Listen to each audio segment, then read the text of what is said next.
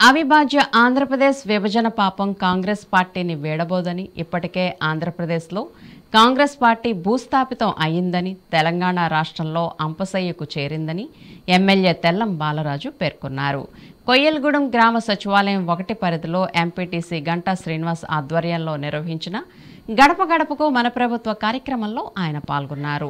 నాడు కాంగ్రెస్ అధిష్టానం నిబంధనలకు విరుద్ధంగా రాష్ట్రాలను విభజించిందని ఆ పాపం శాపమై శతాబ్దన్నర చరిత్ర కలిగిన కాంగ్రెస్ పార్టీ కనుమరుగైపోవడానికి కారణమైందని అన్నారు. వచ్చే సార్వత్రిక ఎన్నికల్లో కూడా నూట ఐదు సీట్లు గెలిపే లక్ష్యంగా వైఎస్ఆర్ పార్టీ కృషి చేస్తోందని కుప్పంతో సహా వైఎస్ఆర్సీపీ జెండా ఎగరబోతుందని అన్నారు.